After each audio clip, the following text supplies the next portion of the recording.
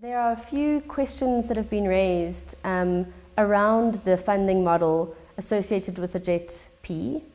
And the first is, particularly from South African perspective, is that only 4% of the current amount that's promised is, is grants. So it's actually mostly loans and guarantees. Um, and obviously we're, a, we're a country in a significant um, amount of debt.